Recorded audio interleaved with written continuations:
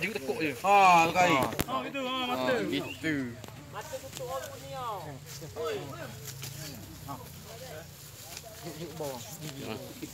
Abang pakai kat ni. Ha, gitu. Ada benda lah. Jangan lepas tu dah ya. Ha, gitu. Dia kena tekuk pun lagi. Lagi, lagi, lagi. Lagi. Eh, tali belakang dulu siap. Tali belakang. Belakang. Lagi lagi lagi lagi lagi. Belakang lagi lagi lagi.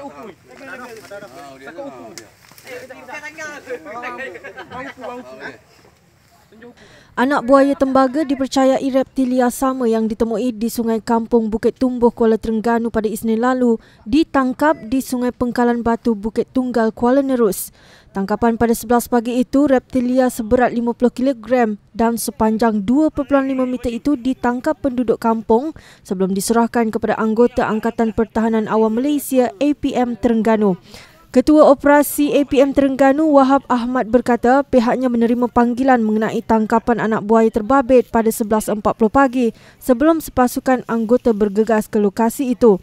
Katanya anak buaya berkenaan akan dibawa ke pejabat APM sebelum diserahkan kepada Jabatan Perlindungan Hidupan Liar dan Taman Negara Perhilitan untuk tindakan lanjut.